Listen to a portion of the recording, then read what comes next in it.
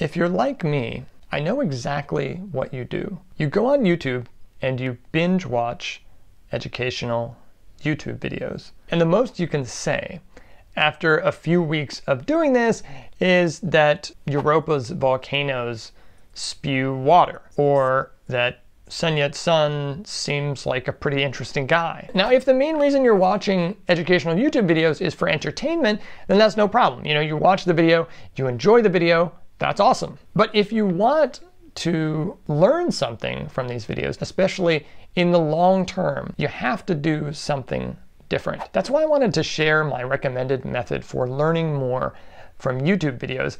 It really doesn't take a lot of extra time. You can do it in as little as five minutes, but what happens is that you're going to retain and understand a lot more than you would if you hadn't taken this extra five minutes. The first step happens before you even watch the video. What do you know about what you're going to watch? If it's something like a video on adjusting the brakes to your bike, well, you might just want to take a look at your bike first, or maybe try to adjust the brake yourself first before watching the video. Now, you know, maybe you already did that and failed spectacularly, and that's why you're watching this video. That's great. That's good. The information is going to be very relevant to you if that's the case. If it's something like learning about Chinese history, if it's a video about Chinese history, then you might just take a minute to write down what you know about Chinese history, or probably more likely one little part of Chinese history because Chinese history is so long.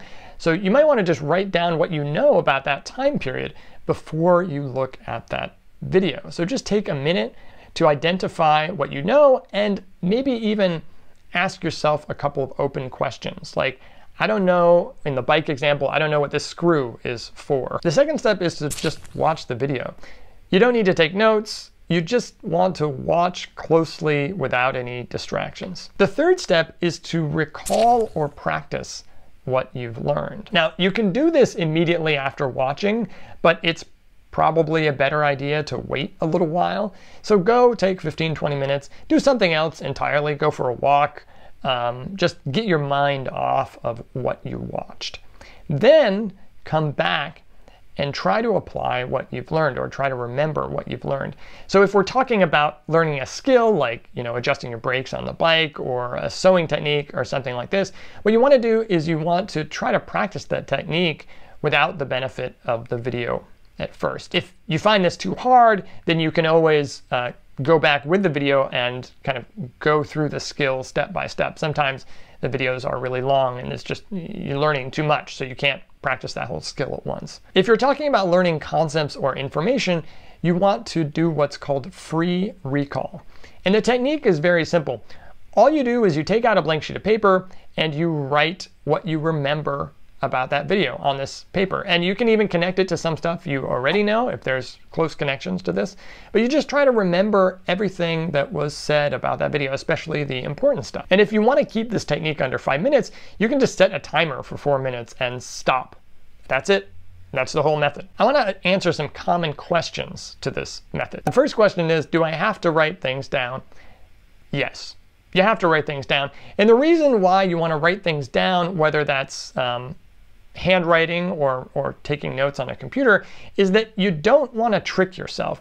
It's very easy to just think that you've remembered something or think that you had uh, a certain question in mind when you actually didn't. So writing things down just prevents you from tricking yourself. Second question, why does this work? That's a big, big question, but um, let me try to address each step. So the first step is about bringing what's called prior knowledge to the fore, which includes both knowledge, skills, experiences, whatever it is you have coming into that video that you are going to use to uh, connect the information that you're getting.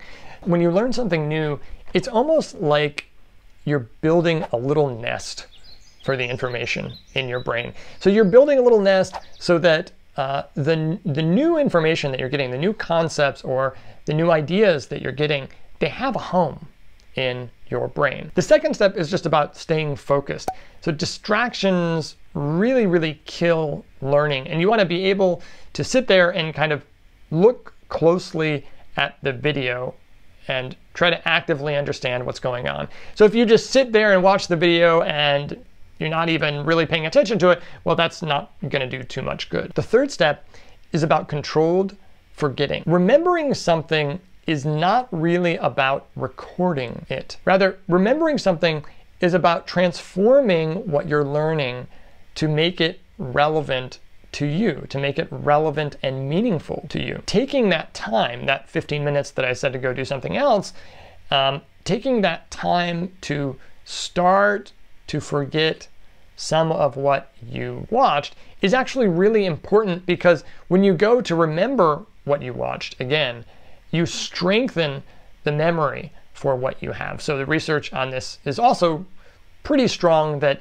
doing these kinds of free recall exercises, especially when you include a little bit of a gap between kind of when you first heard about something and then when you're bringing to mind that something again, really, really promotes long-term learning. Third question, can I spend more than five minutes? Yes, doesn't have to be five minutes. I just think even five minutes will help you immensely. Fourth question is, what else can I do to help? One is to stop binge watching. So when you watch video after video after video, there's just too much information to take in at once, and you're not really uh, helping that information to stick inside your head. Another idea is to do that free recall or do that practice like a little bit later on as well. So a few days later, a week later, a couple weeks later, this is going to facilitate long-term learning. Another thing to do is to get different perspectives on the same idea.